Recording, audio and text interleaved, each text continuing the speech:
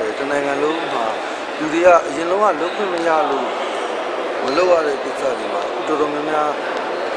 ဝင်ပါပြီးမှလုပ်လာတယ်အဲ့ဒီပါပြီးတော့မှဘုချုပ်မွေးနေ့ကိုကျင်းပကြတာပေါ့ကျင်းပတဲ့အချိန်မှာမှမြင်ရတာကိုမျိုးနေမှာပေါ့ကြည်ပြပြနဲ့နံပြရရင်စားကြတယ်ဆိုတော့စာသားလေးနဲ့ကိုကိုလောက်ကြတယ်အဲ့ဒါကဘုချုပ်မွေးနေ့မှာဘုချုပ်ရဲ့အဲဟို ပြည်သူတရားလုံးနဲ့အတူအခြေခံအကြဆုံးအစားအစာတွေကိုစားတယ်အဲ့ဒီသူ့ရဲ့ဟိုမိခင်ကြီးဖြစ်တဲ့လောကင်းကြီးကိုတို့ပြည်သူတွေရဲ့မိခင်ကြီးဖြစ်တဲ့ပကင်ကြီးကလှမ်းမှားတဲ့စာလေးနဲ့အညီပြပြနဲ့နံပြတနိုင်ငံလုံးလောက်ကြတယ်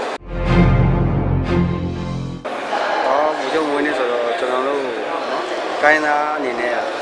သိမပြုတဲ့အနေနဲ့အမြဲမနှမ်းအမှတ်တရပြစ်စဖို့တော့ကျွန်တော်တို့ကိုယ်စားလှယ်တွေကမျိုးစတဲ့ကျွန်တော်လူငယ်လေးတွေကိုသိရှိဖို့အတွက်ကျွန်တော်တို့လက်ဆင့်ကမ်းပြီးအ သိဉာဏ်ပေးပြောပြီးတော့မှ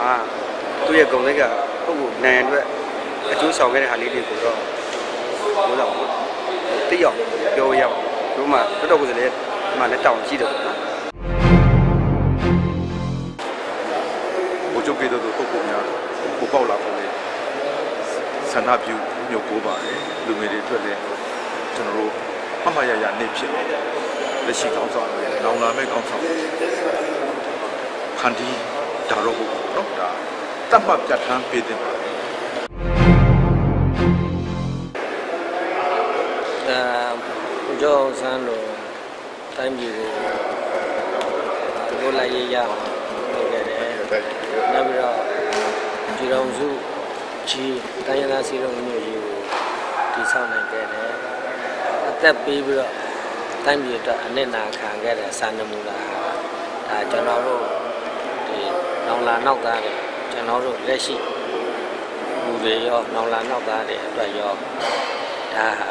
စာနမူနာနံပါတ်1စာနမူနာထားတဲ့ပါတယ်ဘုချုပ်ရဲ့မွေးနေ့နဲ့ပတ်သက်ပြီးတော့ကျမတို့အနေနဲ့အမှတ်တရပြောချင်တာတော့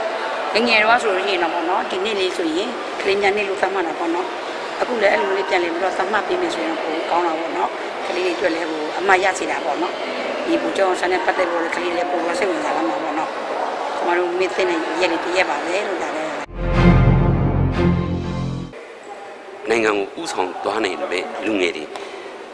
အများပြားလိုအပ်ပါတယ်အဲ့တော့မကြခင်တိုင်းပြည်အစ်စ်အစ်ကိုနော်ဒီမိုကရေစီနိုင်ငံကိုတကယ်ကိုပြောင်းခြင်းအစစ်မှန်ရဖို့အတွက်ကိုလူငယ်တွေရဲ့စွမ်းအားလိုအပ်ပါတယ်လို့အဲ့ဒီအတွက်ဗိုလ်ချုပ်ရဲ့စိတ်နဲ့ဗိုလ်ချုပ်ရဲ့မွေးနေ့ဖြစ်တဲ့ February 23မှာဗိုလ်ချုပ်ကဲလို့ လူငယ်တွေအများကြီးပေါ်ပေါက်ပါစေလို့ကျွန်တော်အဲ့လိုပဲဆုတောင်းချင်ပါတယ်ဟုတ်လားပါပဲ